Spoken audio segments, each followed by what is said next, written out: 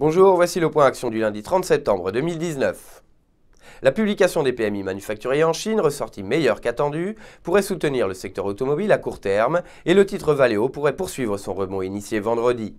Ainsi, le dépassement de la résistance à 30,18€ devrait permettre au cours de l'action de rejoindre le plus haut de juillet à 31,08€, voire de tester le plus haut de 5 mois situé à 31,63€.